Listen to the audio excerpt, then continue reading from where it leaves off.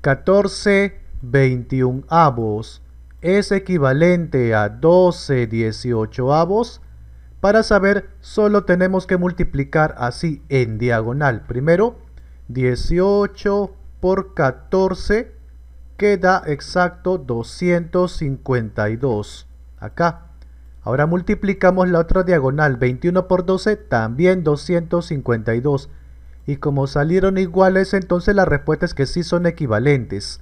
No olvides que si es que te hubieras salido diferente hubieras puesto que no, pero en este caso sí son.